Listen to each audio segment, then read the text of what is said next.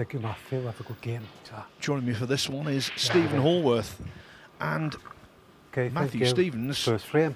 has got Judd two to break. legs of the, the Triple Crown on his CV, a UK Championship, and a, a Masters title as well. As for Judd Trump, well, he's got all three. Yeah, good afternoon, Phil. Good afternoon, everybody. Another really interesting group we've got. We was blessed with a fantastic day of snooker yesterday. On paper, it looked like it was going to be a great group, and today's looks very similar. I expect a high standard of snooker. Two fabulous players on offer. First up today, Matthew Stevens, Judd Trump. What a nice start to your Thursday afternoon this could be.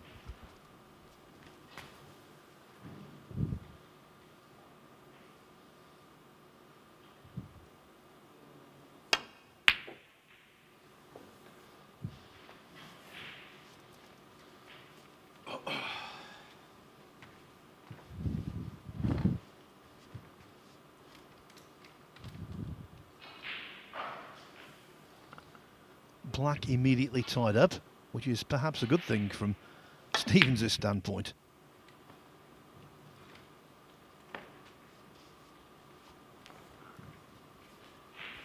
This is the world number four, Trump, against the world number 44, Stevens.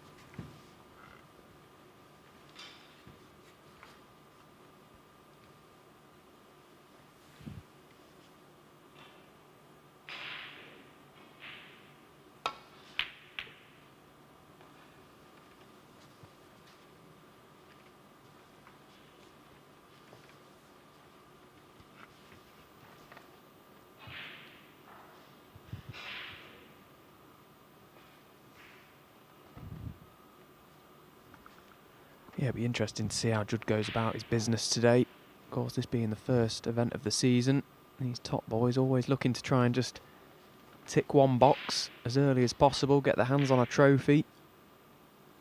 And you can bet your money that Judd Trump will be trying his hardest for that. Maybe a good thing as well that he's playing today, because if he wins today's group, or whoever wins today's group, is straight back in action tomorrow.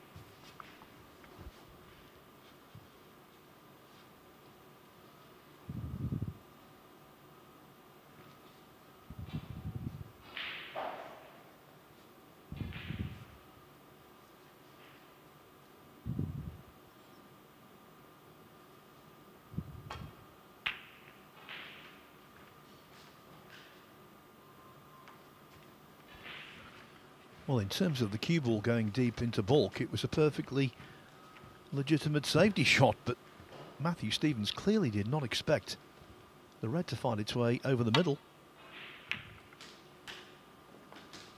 Foul. Trump didn't expect the cue ball to find its way into the Matthew pocket. Stevens. Scratchy start. Yeah, there's, there were two very bizarre shots from both players there. Matthew Stevens with the safety shot looked a dead set plant towards that middle pocket. Obviously didn't see it, but what a mistake that is from Judd Trump.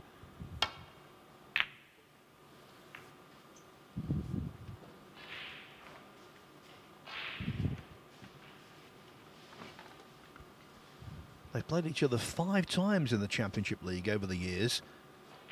Trump has won four of those meetings, but they haven't encountered each other in this tournament since 2014.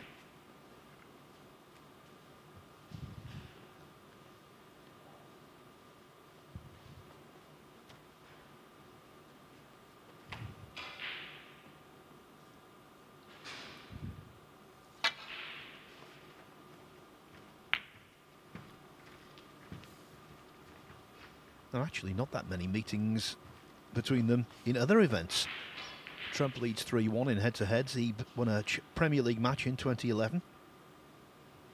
Came back from 4 3 down to win 5 4 in the last 32 of the World Open in 2014. And also beat Matthew Stevens 4 1 in the last 32 of the English Open in 2017. And that's the last time they came up against each other in anything. Yeah, it's quite mad to think that two players that have been on the tour for so long and sort of at the top of the game There's only 128 players, give or take, on the tour at any one time, and to not draw each other for that length of time is is quite strange.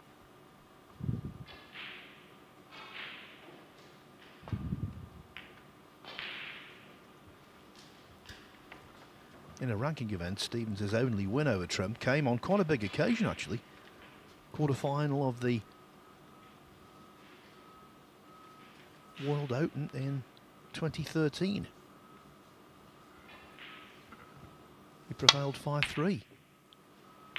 And he might prevail today if Trump continues to misfire like this. Not made a, an impressive start at all.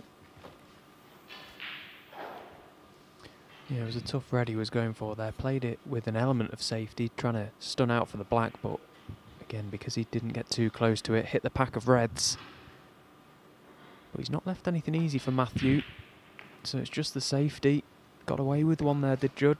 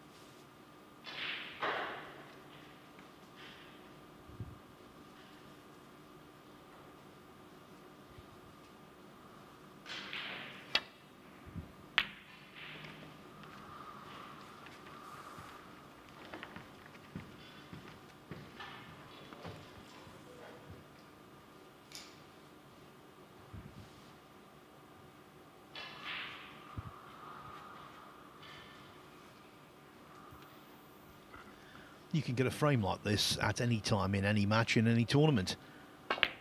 But most likely, a frame of this nature will occur either in the the early stages of a contest in the first frame or when it's a decider and the nerves are raw.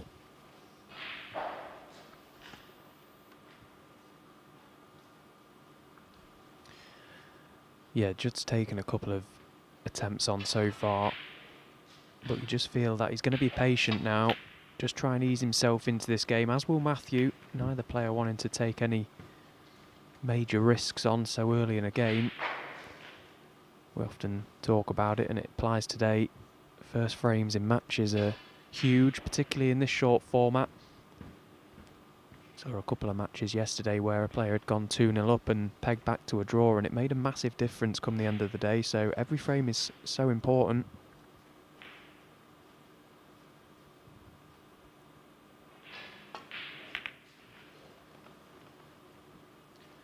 And again, Matthew pushing a red towards that middle. He needs some cover.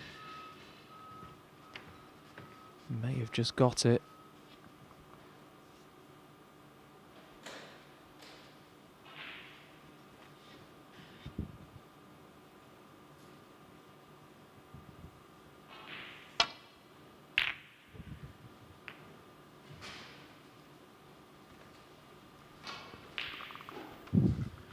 And now, in first will have a bonanza, or should have a bonanza. Reds everywhere. Yeah, it's a funny frame, and it's it's one of them, as you say, that if you make the slightest mistake, leave your opponent attempt at, could be end of frame. These balls are absolutely everywhere. How you would usually start a practice session, just chuck them out of the box and just get your arm going. This will be a great chance if someone can get in here.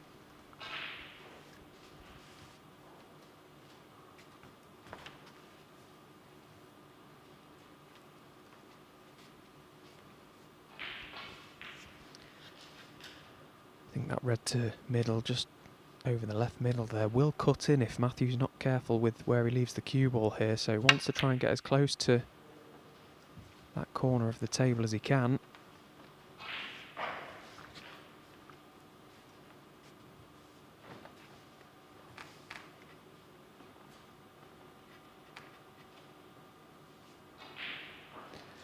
Well, he's played a pretty good shot there. He's got Judd nailed to that baulk cushion.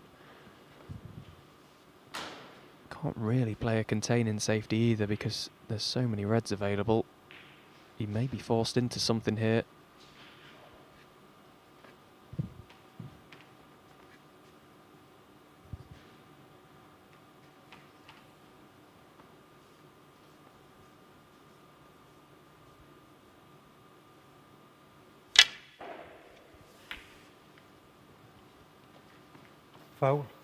Miss. Five. We saw James Cahill badly miscue from a, a similar place to that in the first frame against Dave Gilbert yesterday. And for the rest of the contest, he was essentially a, a spectator. That was a, a total mess.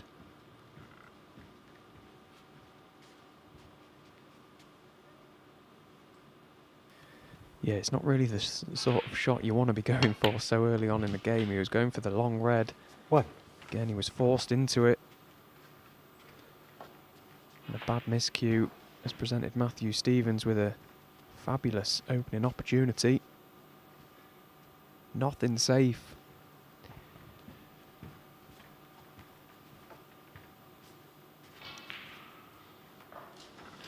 Doing the right thing here by putting the blue back on its spot.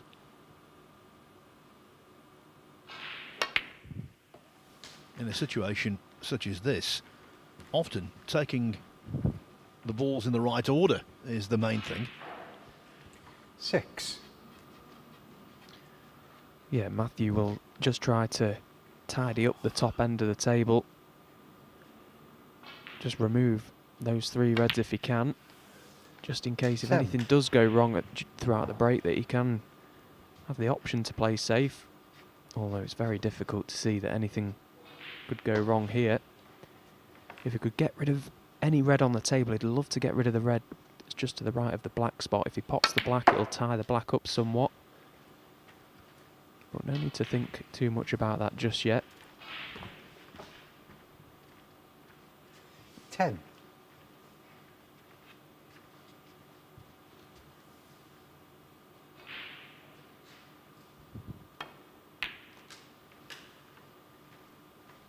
Lem.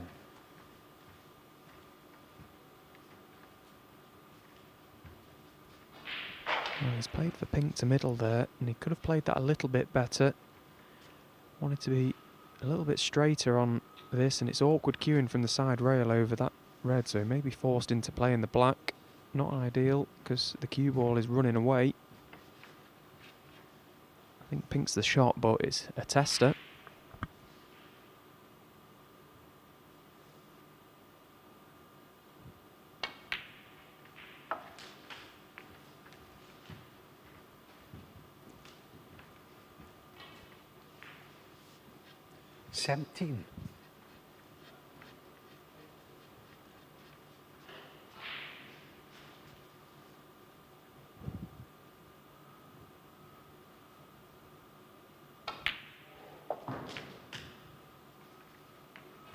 18.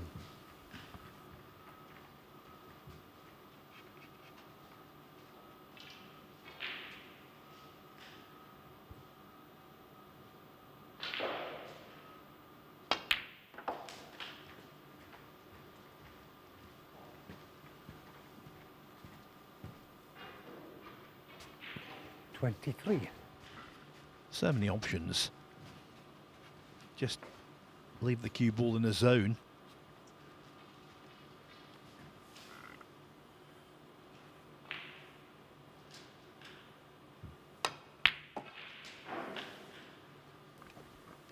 And quite often we see when a, a player has got a chance such as this, where virtually everything is potable, you can sort of try and be too cute at times and almost question yourself when you're down. It's important to just try and leave your cue ball in an area, give yourself a few options.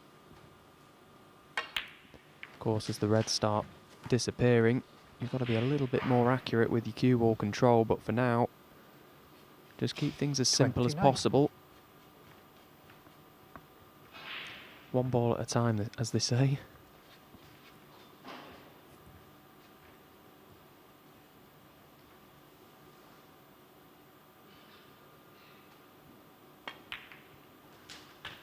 30. But as far as chances go in opening frames, this is more than ideal. This is exactly how you'd like them, just to settle yourself down. Just an embarrassment of riches. Can actually lead to indecision when you've got so many choices.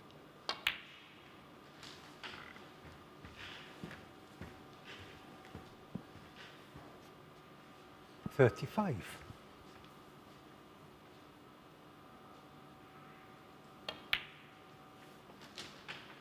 Thirty-six.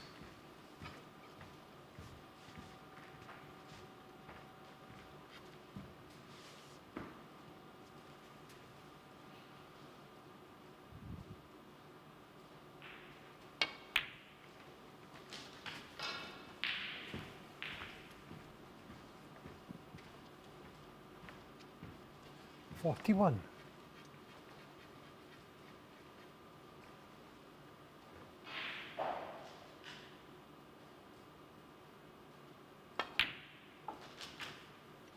Forty-two. Continuing to ignore the black because of the red that Stephen mentioned earlier.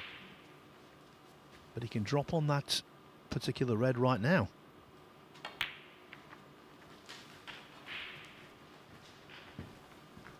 Thing is, though, the break is so straightforward. Forty-seven. Why take any chance at all?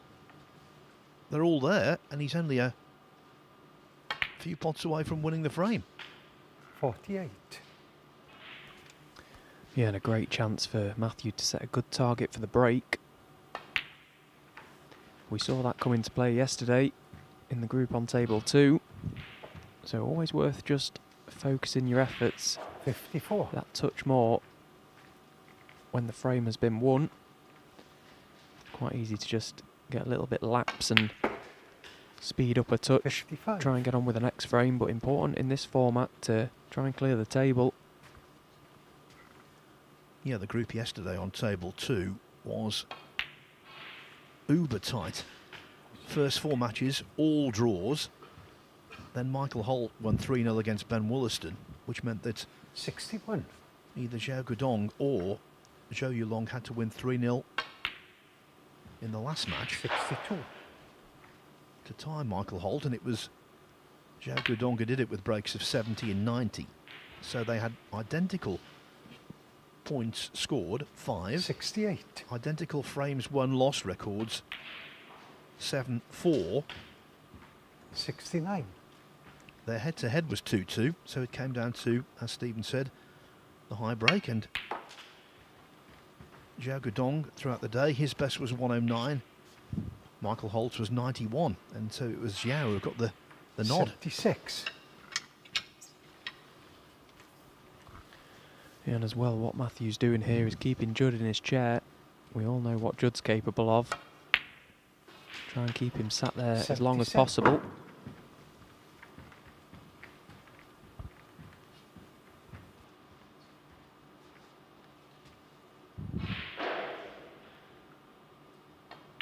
Wasn't just the missed cue in this frame he missed a straightforward red early then went in off Eighty-four.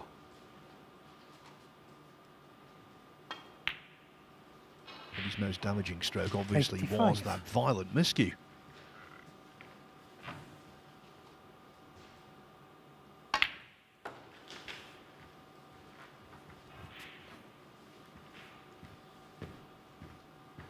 Ninety-one.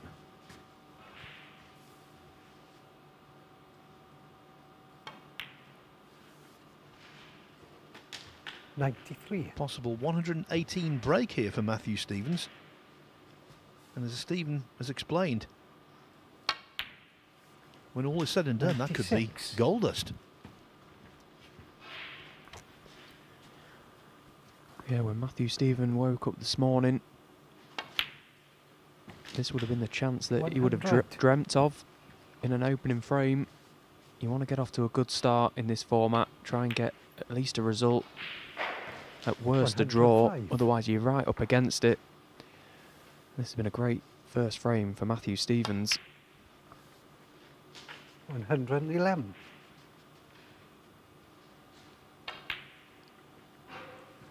111. Will that Miss Black be expensive? Right now, he's just pleased, and rightfully so, to make a century to open proceedings. He leads Judd Trump 1 0.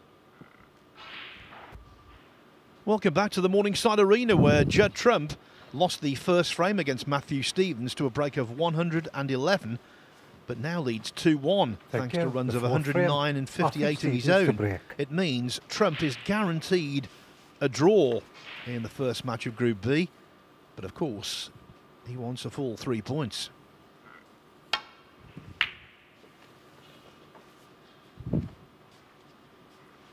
On Tuesday and yesterday, the winner of our first match on table one went on to top the group. Rob Milkins and Shaun Murphy.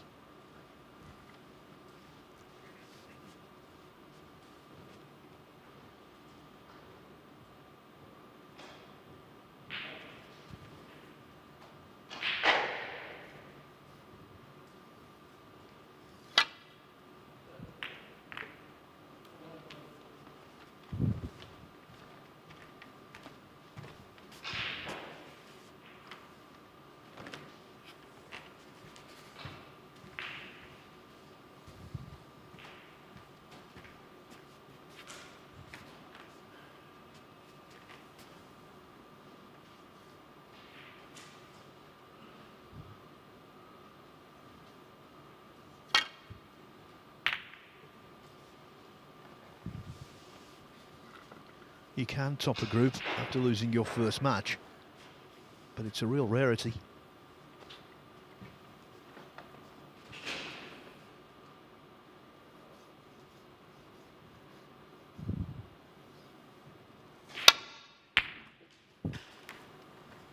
One.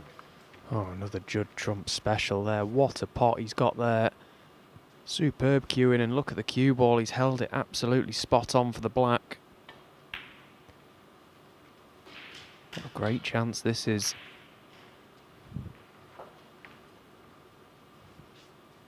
Eight. Hand on the side cushion, cueing down to try and grab the white. Could not have hit that any nicer. Beautiful strike. Nine. First frame, he missed a red. He had a very sloppy in off and a terrible miscue. But since then, he's looked really sharp. Looked really determined also.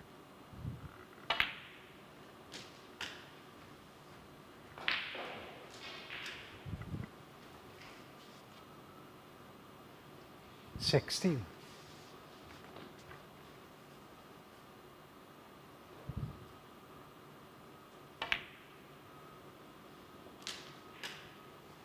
Seventeen.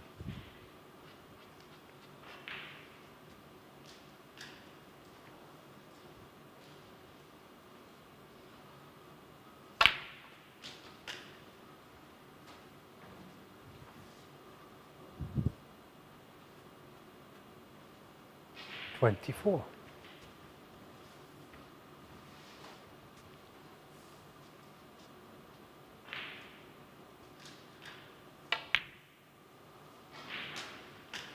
Twenty-five. Chose to take the more difficult red because it was easier for him to get up for the blue that way.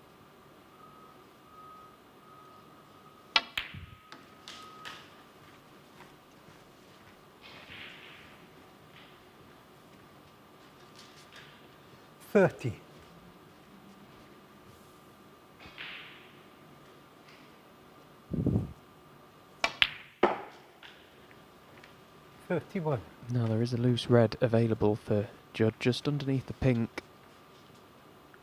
Goes to both the corner and right middle. Maybe a plant available as well, which would help. Could just buy him a few more shots. Wouldn't necessarily need to go into the pack just yet.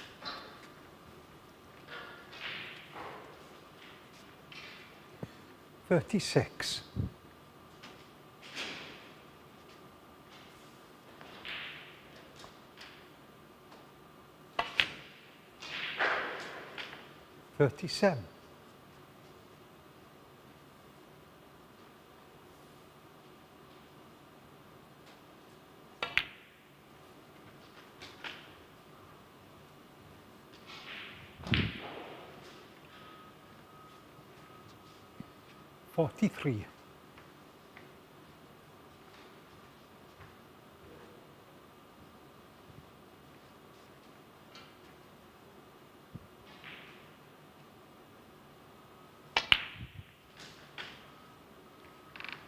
44. Snag. He didn't expect the red that was also involved in that plant to come down and get in the way of the black.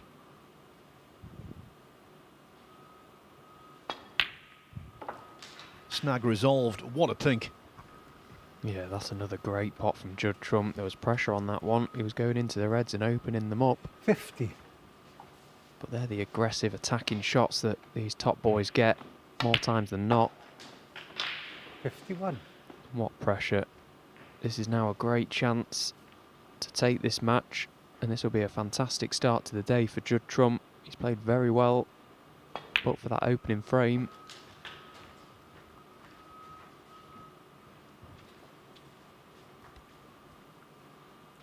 Fifty-seven. And another opportunity to put a big break on the board. Fifty-eight.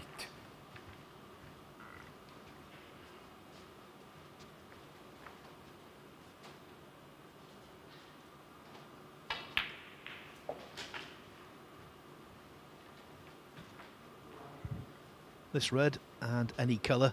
And Matthew Stevens will need snookers. Frankly, where the balls are, he needs a miracle. And again it came from that really nice opening red from Judd Trump. Reeling this one off in no time. 73. 74.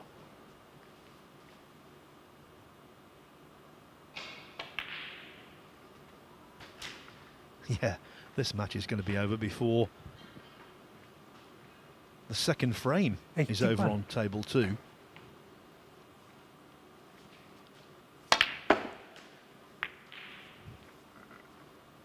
Eighty-two.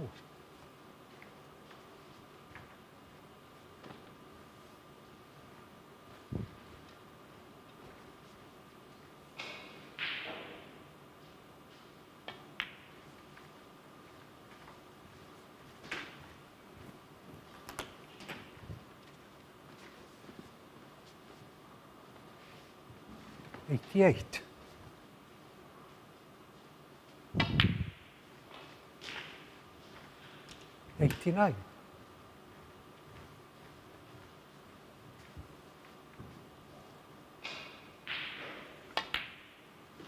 Having a, a lower high break at the moment than Matthew Stevens is not really an issue because if it did come down to a tie break between these two, Trump has now won their head to head, which is higher in importance. 97. But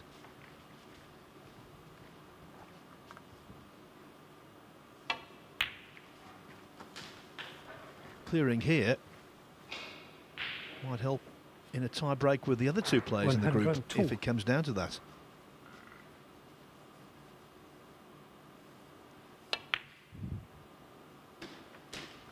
One hundred and three. And what a message he's sending out to everyone else in his group. Joe Perry, Cao Yupeng will be watching on.